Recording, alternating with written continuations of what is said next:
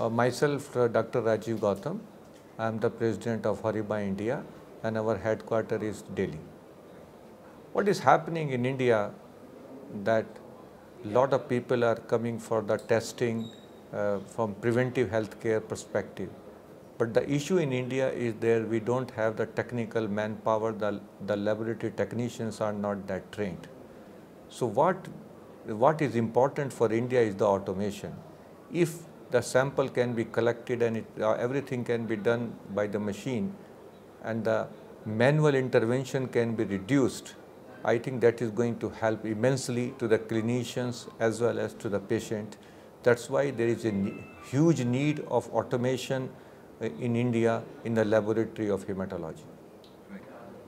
This market is today uh, the around 15% of IVD market is it's hematology, uh, which is basically the testing of the blood cells, how, how many blood cells and what type of diseases you have out, out, of, the, out of the blood and it is growing. It is growing by the CAGR, uh, the growth rate of around 20% every year.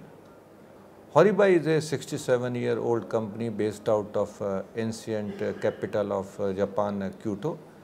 Uh, we are already today in 28 countries. In India, journey started 14 years back when we started our office in Delhi. Horiba is not only in medical, but they also in the other four field uh, like emission equipments, like scientific equipments. We do semiconductor business and also we do lot of instrumentation for the water and air pollutions. So we have various businesses uh, in this country. We have few offices here. We are putting up a new Nagpur factory here for the for, for our medical instruments and reagent. So it has been 14 year exciting journey of Horiba in India healthcare today we are basically in hematology. Hematology is the science of, of, the, of the blood, uh, but uh, we are also getting into now the clinical chemistry which is uh, about other, other units Uh, of, the, of the blood. We are also getting in immunology.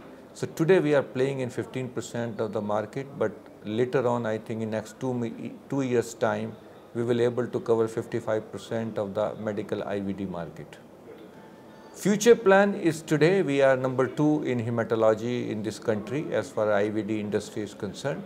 The future plan is the next three years we wanted to become number one and uh, for that we have a, we are putting a new factory in Nagpur for the instrument ma manufacturing. Today we wanted to be competitive in the market so that's why we wanted to manufacture the instrument here which today is being manufactured either in Japan or in France. So it is the it is become a costly affair because of the European labor and Japanese labor. We are putting a factory here to become competitive and that will help us to become uh, uh, India number one in hematology.